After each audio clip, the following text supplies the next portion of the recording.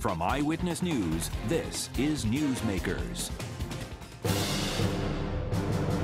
The Me Too movement, catapulted into the spotlight in the wake of the Harvey Weinstein scandal, has hit home in Rhode Island.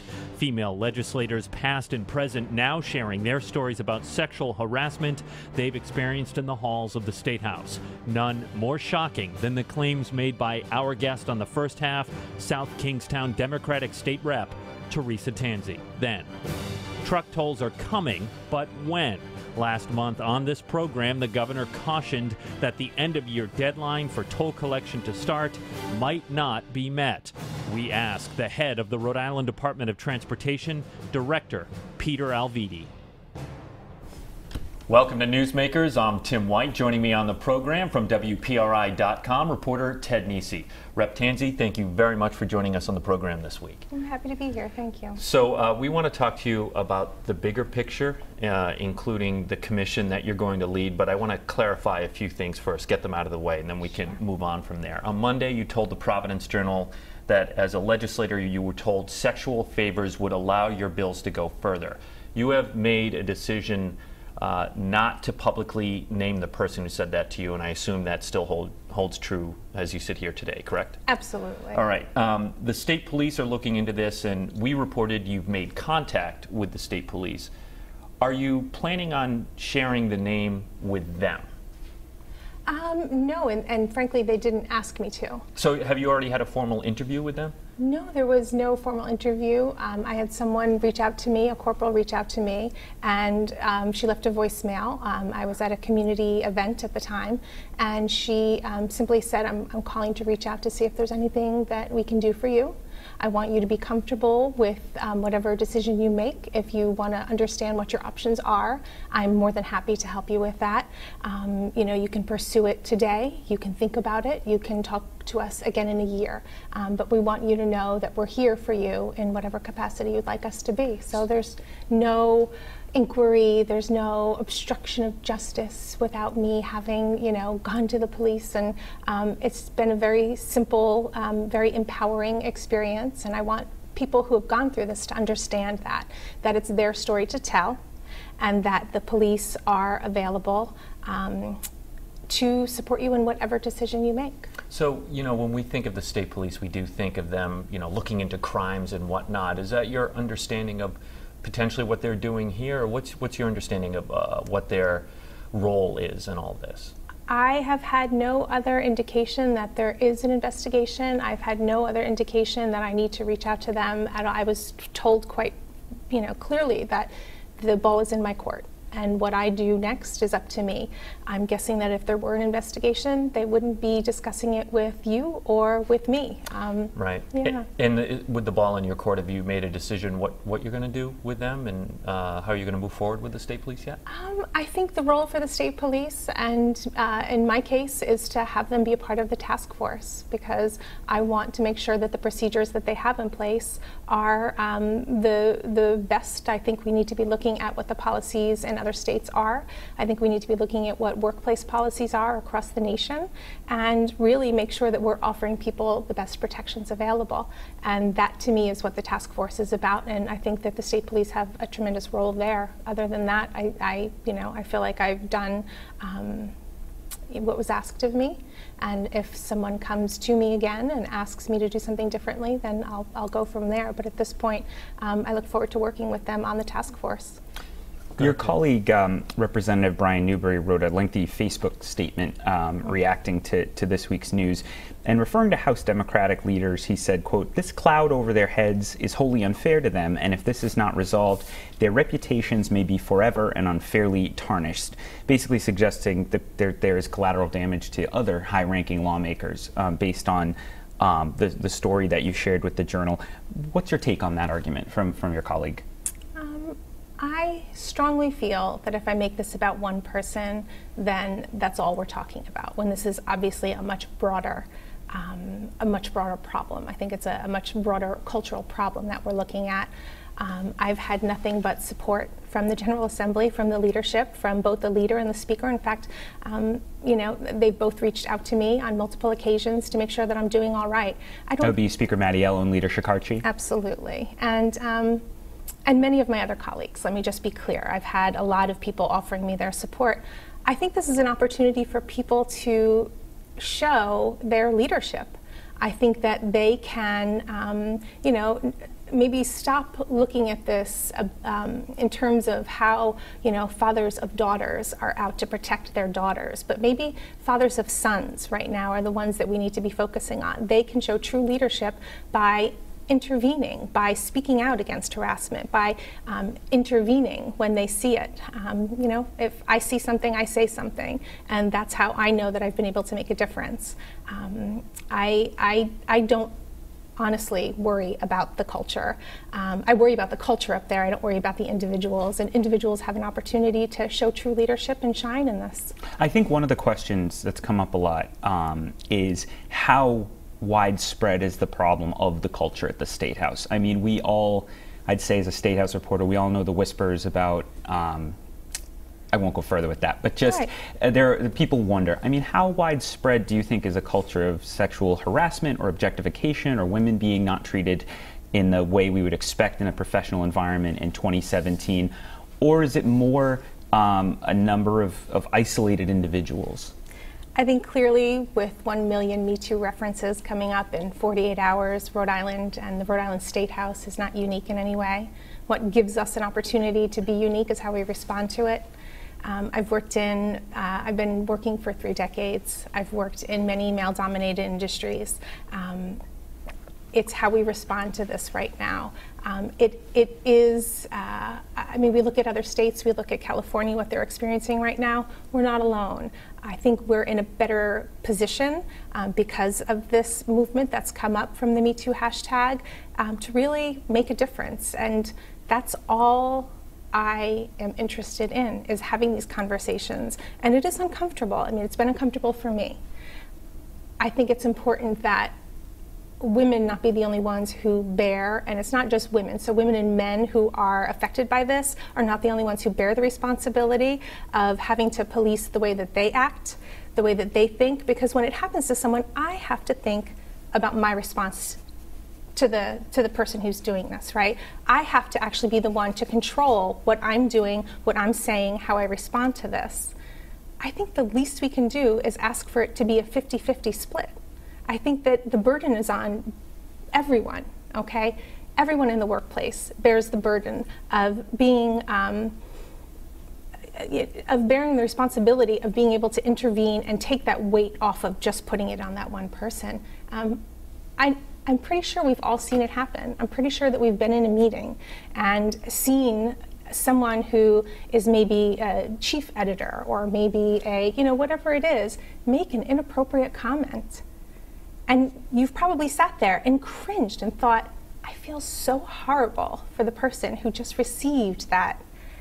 Now everyone is thinking about her in a different way, and, and it's, it, it, it hurts productivity. It hurts the individual who that remark is made about, but most importantly, the great people in that room who recognize it, they don't have the tools to deal with it. And that's what I want to do. I want to do this intervention training. I want to make sure that people have those tools because most men and women don't want it to be this way. Your uh, revelation ignited a firestorm. The story uh, you talk about a lot of people coming forward with the Me right. Too movement, but certainly your story has uh, stood out among many of the others. It's appeared on network news, newspapers across the country. It obviously has dominated the talk here. Were you surprised by this reaction to your comment, or did you know going in this is going to be a big deal? I was surprised and a little overwhelmed, but there was, to me, the opportunity that I have my whole life been waiting for to change this culture that exists was handed to me. And I happen to be in a position that many women are not in. I am an elected official. I have an amplified voice. And after the hashtag happened, Me Too, I had a million people behind me who were affirming that these are real experiences. Even I'm having difficulty in affirming this and, and maintaining credibility. Um, imagine what an individual who doesn't have that benefit experiences. I have a question about that. Sure. So, um, you, as you point out, you're an elected official, so you have a larger platform. Um, is the culture for women that aren't elected officials who work at the state house harder? Um, is that environment difficult for them? You know, they see a lot of legislators come and go, um, but they work there year round. Yeah. Uh, is it hard for them? Have you seen that firsthand in, in any way? I think in every workplace I have ever been in, from my first job as a waitress to this, it is about power and the power structure. And that's what harassment is. It's not when, you know, sexual harassment in the workplace has to do with a power dynamic. So I can say affirmatively, I've seen it in, in every work environment that I've been in. Um, I don't think we're unique. I think every workplace can stand to, to do better. Uh, the second vice chair of the state Democratic Party, Joseph DiLorenzo, along uh, who was a rep for about 20 years, lost in 1994, uh, he made some uh, dismissive comments about your uh, revelation on the radio this week. There's been a huge push for him to resign, particularly among the left, including from the Women's Caucus of the Democratic Party. The party is controlled by the Speaker of the House. We have not heard from him yet. Do you think, want to see the Speaker uh, call for his resignation, DiLorenzo's? Um, I don't want to make this about one person. Um, but I know uh, in either case, whether it be about Mr. DiLorenzo or about um, the speaker, I know that many people have stood up and called for his resignation. I was among the first um, to do so. I, I find it um, so deeply disappointing and disturbing.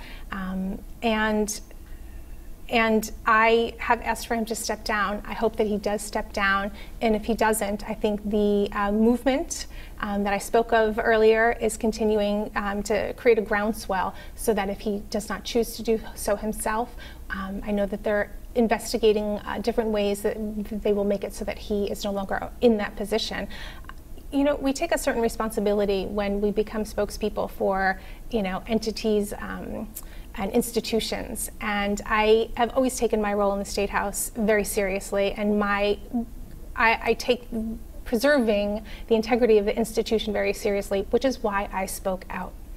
I feel the same way about the Democratic Party, and I will continue to speak out to preserve the integrity of the party because, again, there are so many good people that are a part of this party, and to have this one person be the focus, it takes away from all of the good that is out there and all of the positive that can come out of this. These are hard conversations, but they're important conversations. Well, we're getting close to running out of time. I, I have a quick, specific question uh, mm-hmm. about uh, the comment made to you. I, I, don't have an idea as to the timing on that. Were you a freshman lawmaker when, when that was said to you, or early on in your the DiLorenzo comment? No, no, no, no. Oh. When the comment that, about sexual favors to, I, for bills. Yeah, I am not going into any greater detail to the time or the any more details. It's again, it's not about one person. I've said that it was a power differential. I was a rank and file member um, of the General Assembly, and the other person was not. The other person had a title. I asked you that to ask you this: What sure. is your uh, advice to women just starting out in the in the legislature? Then, for the uh, freshman uh, lawmaker coming in, a woman, what, what do you say to them? Yeah, I, I think that this pertains to any workplace get to know the other women who are around you. You're always stronger together. Um, and I would say don't be afraid to speak out. Um, I think that these things tend to grow. I think a person who is who does the harassing, they start off very simply pushing at a boundary, right? Perhaps it's an inappropriate comment at first. Perhaps it then moves, you know, into an inappropriate touch. They, you know, put their hand on you. Their hand starts to move. It starts to migrate. Constant pushing of boundaries I think we all have the opportunity, all of us, to help prevent that from happening and to support people when they call it out. So I just encourage women to be strong, that other people, it's obvious now that they're not alone, and that other women certainly, and, and, and many, many men. I just want to say one thing. Sure. 6% of people are responsible for 90% of all harassment and assaults. It's just it's it's a it's one of those you know those rules of thumb. Six percent of the people are creating ninety percent of the problem. It's up to the ninety-four percent of us to stop that. Representative Teresa Tanzi, uh, you said at one point that this is uncomfortable to talk about. Nothing is more uncomfortable than coming into a television studio to talk about this topic. So we really uh, appreciate you taking the time and having the courage to do that. So thank you very much. I appreciate it. When Thank we come back, the head of the Rhode Island Department of Transportation, Director Peter Alviti. Stay with us. You're watching Newsmakers. Vice versa, you don't want. Welcome back to Newsmakers. I'm Tim White. To my left, WPRI.com reporter Ted Nesi. As you could hear, we already started our interview during the commercial break with our second half guest, Director of the Department of Transportation, Peter Alviti. Director, good to have you back. Nice to be back. All right, surprise, surprise. I want to talk about truck tolls to Yes. start. Um, so the governor was uh, right where you're uh, sitting about a month ago, I believe. We had Yes. her on the show. Uh, last time I spoke to you, you said the state was on track for the first toll gantries to be up uh, by the end of the year and possibly tolling a month later in Yep. January. The governor said she was not, uh, my words, not as optimistic. She said it's hard stuff. She'd rather take another two or three months to get it right, and she said she wouldn't be surprised if, if the state decided to do that. Right. It's we're going into uh, November. Where do things stand right now? Right. So we're we're always striving. You know, DOT. We're um, very much driven by uh, being on time, on budget, on schedule. You saw that last week when we did a bridge in a weekend, right? Um, and but uh, this is this project is a little different, of course, than uh, building bridge. It is much more. There are many more nuances in it. There are technical, certainly technical aspects of it. There's the construction of them, but there's also the uh, permitting process and the um, legal process, right? That we need to prepare for. And in this case, while uh, bridges and roads are a matter of life safety, uh, welfare of the people that are traveling on them, this is more of a financial, legal kind of nuances that fold into this. So we want to make sure that we do this right the first time, get it right, get it as perfect as possible before we turn that switch on, so that all of those various nuances, the, the technical, the financial, the, the legal aspects of this, are covered so that we get it right the first time. That and that is timeline. going that yeah, and if it impacts the timeline, it's not as important to us in the case of a toll gantry going up as it is with a bridge. So if that be the case, it will. I want to make sure that everybody is comfortable, the public, the ACLU lately, the uh, truckers, the uh, the governor is is. Uh, everyone is all very comfortable with us going into this. You're not saying December absolutely- still. I mean, last time I talked to you, you said gantry at the end of We're December. always- so is, are you pushing? Uh, I'm just trying to pin you down a little bit. Are you pushing the date back? It could. I'm saying it could. I'm saying I'm not as concerned about that happening if it does. Uh, but we're still going to drive to December. Truckers are. They would like to hear a date from you as to when that you think I'm, it's. I'm sure they would, but I'm not. I excuse the pun, but I'm not driven to complete a project on the basis of the truckers' time schedule. Boo. Yeah.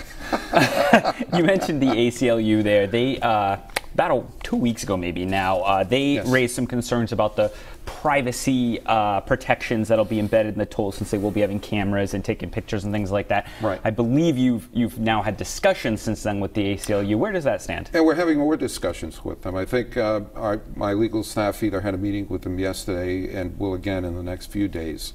Um, we, I, I think we know what the ACLU is concerned about. And it's our concern too, that the data that's held uh, in this, or the data that we collect to uh, basically send invoices out to the truck, uh, trucking owners that are, are responsible for paying the tolls, is done in a way that any additional data that we could collect on either vehicles or, or that isn't used in other ways, isn't used uh, to sell to advertising agencies, isn't used to make available uh, to the general public. And we never had any intention of doing that. We share those concerns. What we, uh, what we will be doing in conjunction and working with the ACLU is actually promulgating those controls that will restrict the use of that data in any other way. And, and we're also working internally after hearing the concerns of the ACLU, and we're feeding that, those concerns back into the technological aspect of this because we think there's a way at the very, at the very collection point of these at the gantry itself to filter out any information on uh, passenger vehicles or other vehicles that we're not going to be invoicing and filter it out right at that point so that it's not even stored on the system. So there's this kind of iterative process. And this goes to the complexity of the issues that we were talking about, right? Uh, if, if making sure that we get this right causes a bit of delay, it's more important we get this right. And, um, and we're working on that. But we're always working in the context of being driven toward uh, a deadline and uh, and a, and keeping things within cost, You have which we've been doing pretty good job of during the last couple of years. You've seen uh, projects roll out. You've seen us like last week build bridges in a day. Well, I want to talk about another bridge Yep. that, that's not going to be built in a day. You have a major project on the horizon, the 610. A bunch of bridges Yes. there need to be replaced. Yep. I remember the RhodeWorks press conference was held under one of them, and Yep. it was scary to be under it. Right. Um, where does that stand? What's the timeline? And most importantly, to the people that are watching this that use the 610, they want to know how they're going to be impacted. Uh, Is traffic going to be, uh, you know, shifted by a lane as the bridges are replaced, or are you going to do like 95 in Pawtucket, shifting it over to secondary roads to get around the 610? Yes, that's a that's a great question. So, uh, 610 is probably the cornerstone project that exemplifies what our RhodeWorks program is all about. We're taking a project that uh, and a bridge uh, or a series of bridges there, right, that have been decaying for decades, and we finally found a way to move it into actually being rebuilt the financing, the planning, the execution, the kind of project delivery, a design build kind of project delivery, is all new to DOT, and we're actually doing it. And RhodeWorks made it possible for us to move that project off the shelf for 30 years and into the dirt and get constructed. We've been conducting a competitive process between two major groups of companies, uh, each group containing about five or six different companies, design and build uh, components, that um, by December, actually by November, will be completed with the uh, selection process. We'll have selected one so that in December we will have a groundbreaking uh, to begin that project. Uh, to your concern, one of the aspects of the design build competition that we introduced into the competition with these companies is show us the way that you're going to mitigate the traffic during construction because it's a five or six year period that this interchange is going to take to get rebuilt. We only have a couple minutes left, so I want to make sure you get to that. Yep. So, uh, so we are we are uh, having that be a consideration, and one of the requirements is that all uh, lanes of traffic are kept open during the reconstruction. That is, if there are three lanes servicing a particular area now, there will still be three lanes during construction. So you won't be weaving through Olneyville. No, we will not be diverting traffic through local roads to, uh, to construct this. The construction will happen, and the main lanes of traffic will, will be open continuously throughout the construction. I apologize if I missed it. Did you say when do you expect to break ground on the first 610 project? Uh, Actually, the, the whole thing is going to break ground in uh, December. You'll see real activity in the spring, but uh, in late December, we'll, we're still on target and uh, on time and on budget to have a groundbreaking at that point. So um, the RhodeWorks signs, the signs that are up Yes. there, uh, the governor's name is no longer going to be on them. You had some back and forth with the federal highway folks. Um, they said in a quote to Tim, "quote they, They're continuing to work with you on this matter.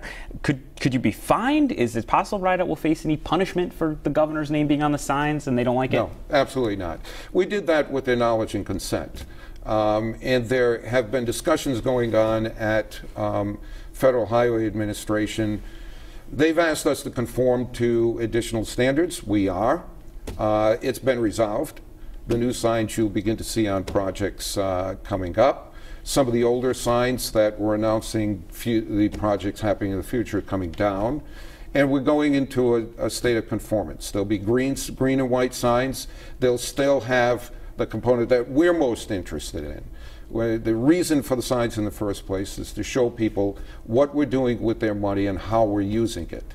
whether we're, we're keeping these projects on time and within budget. And the signs will still give that information, which is what is important to us. We have about a minute left. Uh, Director Alviti, uh, what about your future? How long do you anticipate being in the position that you're in right now? I'm, I'm having a lot of fun doing this. Uh, it, it is a, it's a great experience for me. It's very rewarding. Um, I'm here for as long as the governor wants me or needs me to be here. Um, I'm very happy doing my job, and I think we're making a lot of progress. I'm, I'm still as excited about doing it as I was on the first day, the time we met uh, almost two and a half years ago on this show, and um, I'll continue to do it for as long as I, I'm needed. All right, Director Alviti, thank you very much for joining us on the program. We're going to have you back uh, maybe close to December when the 610 thing kicks off. Yes. I hope you'll join us. Yes. Our thanks to our first half guest, Representative Teresa Tanzi. If you missed any of it, it's online, WPRI.com. For Ted Nesi, I'm Tim White. We'll see you next week on Newsmakers.